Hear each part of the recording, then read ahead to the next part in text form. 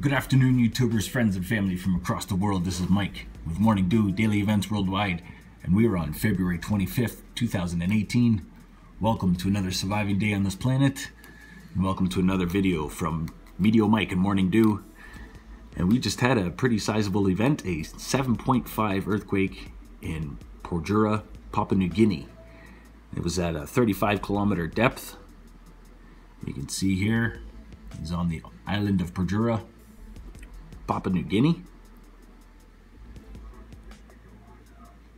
And this after pretty deep earthquakes in uh, Vanuatu and New Zealand, and also the 5.6 in Japan.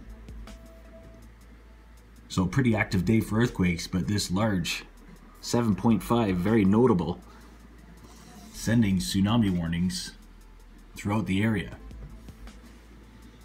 So you can see here, it was just southwest of Porgera. That's the closest village in the area, the city of Porgera. And tsunami warnings in the area and also uh, the Papua New Guinea Islands. 7.6 tsunami warning, 7.5 earthquake warning.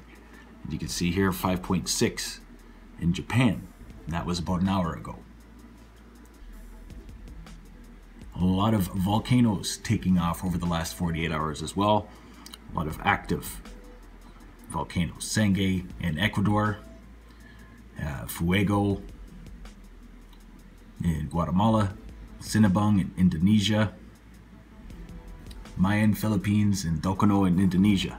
It's all in the last four hours. They've become more active.